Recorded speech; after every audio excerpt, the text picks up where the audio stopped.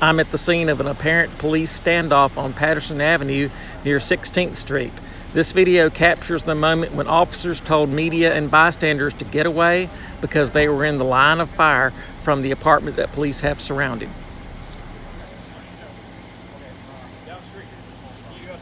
Here's a closer look at the apartment. When I first showed up, officers were standing next to the wall of the apartment to the left of where you see that police car in the center of the photo. The standoff was over quickly. Here's what happened. At approximately 12:26 p.m. today, officers responded to the 1600 block of Patterson Avenue in reference to a shooting. Upon arrival, officers discovered the suspect barricaded himself into a residence. Our special weapons and tactics team, SWAT team, was called to the scene.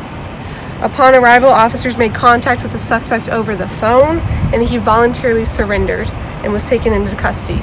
Charges and more information will be forthcoming. I'm Wesley Young, reporting for the Winston-Salem Journal.